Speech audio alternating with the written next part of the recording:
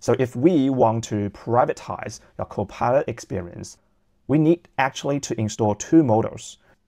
Now let's change to the QA. All right, on um, the same question I will like to ask.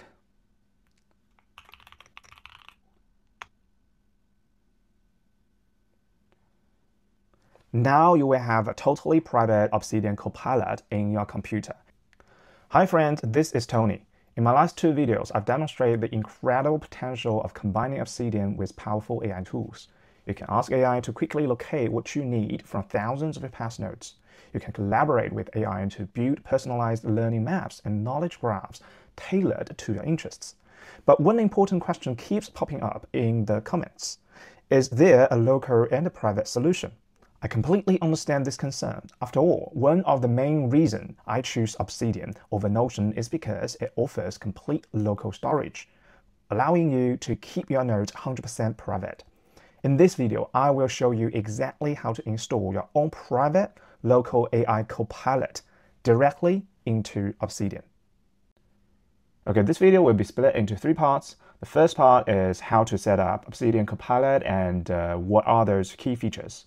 The second part is to show you how to install your private AI model DeepSeek with Ollama.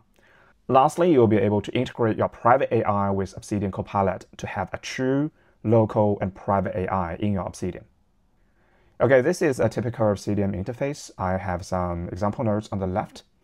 So uh, to install your Obsidian Copilot, you will need to go to the setting and find your community plugin and search for Obsidian Copilot. This is the Copilot plugin you will need to download. It was developed by Logan. Okay. All right, after you install, enable your plugin.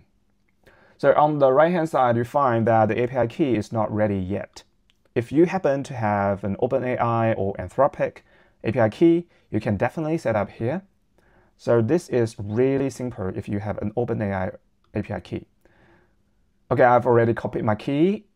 You need to do is to verify it. Everything is verified and set up. Now you can simply use it. On the left-hand side, you will find your Copilot and open it. And you can start chatting. Say, hi there, I'm Tony. Hello, Tony. Okay, the chat mode works. And for the Vault QA mode, uh, this is the mode that you will be able to query your own notes and uh, ask your AI to help you find your notes.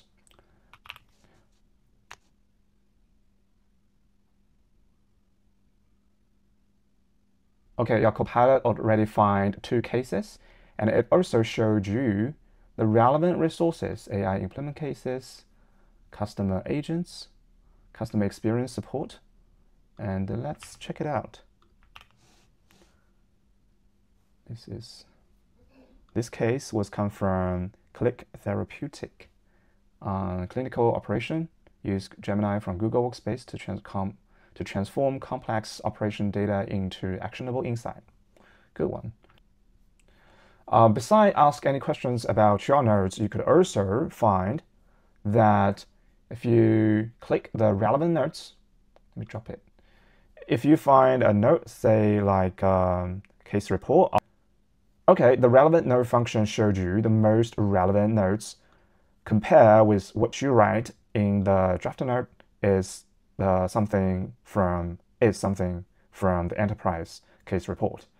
Uh, if you check closely, you'll find that this is the part I copied this is also a very important function I found useful because when you are writing your report or notes or draft, the Obsidian Copilot behind it will actively help you find the most relevant notes that you may find interesting, even though you did not type any links here.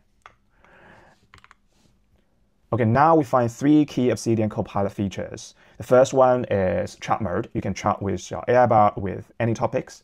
The second one is Vault QA mode that you can ask your AI to find the relevant notes and ask relevant questions about your notes. The third one is relevant notes. When you are reading and writing a notes, Copilot behind your Obsidian will actively find relevant notes for you. So before we jump into uh, how to install your private AI thing, I would like to explain a little bit more about how this is possible. This will definitely help you understand how can we totally privatize your AI for your Obsidian. So behind the Copilot, actually there are two models that is working for you. The first one, of course, is GPT-4o, the OpenAI model. The second one, which is also a key one, is the embedding model. What is embedding? Embedding is simple. It uses neural networks to translate your nodes into numbers. Those are vector numbers that your machine will be able to calculate the relevance between your thousands of nodes. So when you were creating your new nodes, the machine behind it will actually use those vector numbers to calculate similarities between your new nodes and your old nodes. If they find it similar, if they find similarity is high, it will pop up. If you ask any questions about your nodes, the machines will calculate and find the most similar and relevant nodes and send it to your AI and answer your question. So embedding is the key. So if we want to privatize your Copilot experience, we need actually to install two models to help you totally privatize it. How? let's come to the second part. Okay, let's come to the second part, install DeepSeek AI model with Ollama. Okay, what is Ollama? Ollama is a free software that can help you run large language model in your computer, no matter it is Linux, Windows, or Mac OS. You can simply download and install it. Then what is DeepSeek? Currently, DeepSeek R1 is the best open source model you can have on the market right now, you can simply download it from Ollama and have it installed to your computer. The only one thing you need to keep in mind is your computer memory. If you have a relatively small RAM computer, for example, 16 gigabyte, you are suggest to install models like uh, 7B, 8B, and 14B. Okay, once you have your Ollama download, what you do is very simple. You copy this sentence here and have it run on your terminal. Uh, you can directly uh, interact with your private model. Say, how are you today? DeepSeek R1 is a syncing model. What you will have is a syncing process and its final response.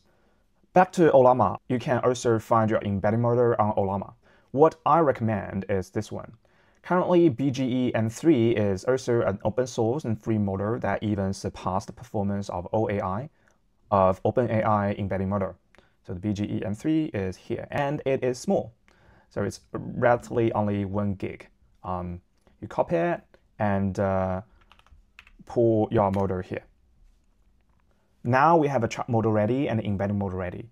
But there's one more thing you need to do. If you are familiar with large language model, you know that each model has its context window. Um, the context window is the amount of text you can ask the model to help you process. For each model download from Ollama, the default context window is limited by Ollama to ensure your model's speed. Since we need this model to answer questions about our nodes, we better to maximize the context window of your local AI. Otherwise, you might find it to be frequently hallucinating from your notes. That's something we don't want to see.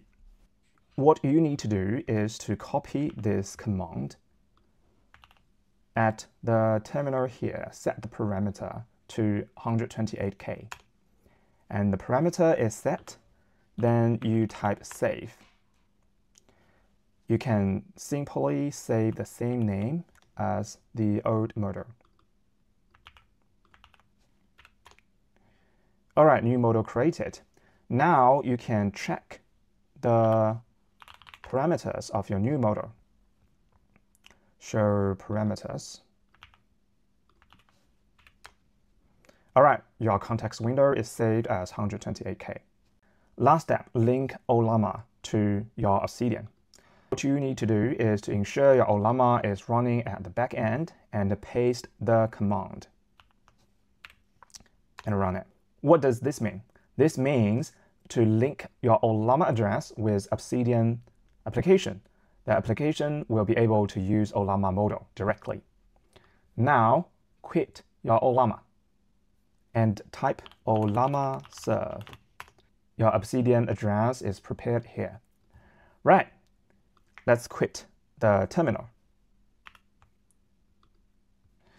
Now we open Ollama again, and everything is ready to use. Okay, now we have everything ready. Let's integrate your private AI model with Obsidian Copilot. I've already removed OpenAI. There's no motor in my Obsidian Copilot. What you need to do is to, in your motor setting, to add your motor here, add custom mode.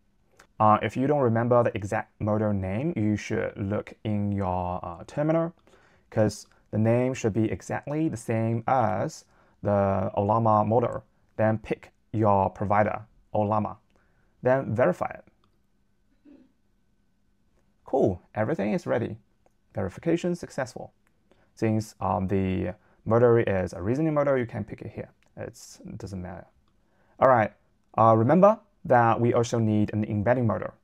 You should add your embedding model below here uh, don't add here. This is chart mode.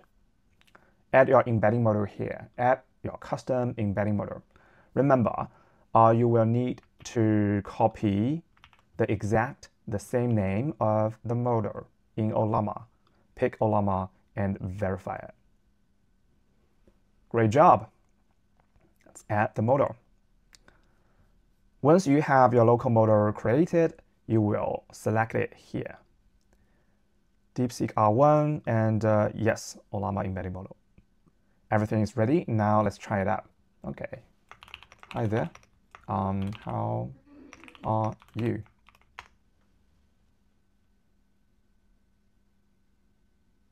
Cool. The thinking model will think a lot, even the simplest question. But the speed is good. Have any question about Obsidian? Great job. Now we can check the vote QA as well. Oh, before oh before we use the vote mode, uh, there's one thing I need to remind you. Um, if we set a new embedding model, it will ask you to rebuild the index. What you need to do is to click continue. Now let's change to the QA. All right, um, the same question I will like to ask.